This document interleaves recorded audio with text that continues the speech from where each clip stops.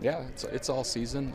I think it's our, we've identified it, I think from my very first year on as a core princ- as the core principles of what the program is going to be. It's program forward. As long as I'm the coach here, that's what we'll emphasize. It's not just a name, but it's our last names. Uh, for me, I'm adopted, so carrying on a tradition of my last name that uh, people might not know of. I'm Dutch. I, I, well, I'm not Dutch, but my last name's Dutch. And to be honest, I, I think it'll, it'll be different having Spirit on my back. But right now, we're rocking it, and that's it. So we'll see. I don't know if it's a pitcher day thing or if it's legit.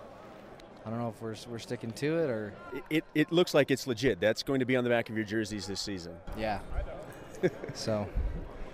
Uh, it's like it's iffy. We understand what they're trying to do, but yet we still want like our last names on there. What does that mean to a player?